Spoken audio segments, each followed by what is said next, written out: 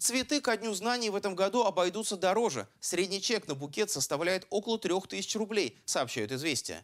При этом в современных реалиях родители все чаще приобретают один букет от класса или вообще отказываются от них в пользу участия в благотворительных акциях. Набирают популярность и альтернативные подарки. О том, что будут дарить тверичане, мы спросили у них самих на улицах города. Смотря какой учитель. Если хороший, то и цветов можно такой шикарный букет купить. Нет, так и без цветов можно. Любой подарок очень приятен, начиная от цветов, э, конфетами или просто улыбки детей. Ну, цветы, наверное, это банально. И что еще? Э, Что-нибудь из еды, что-нибудь вкусненькое, потому что э, педагоги любят покушать. И это, мне кажется, хорошая успеваемость его учеников.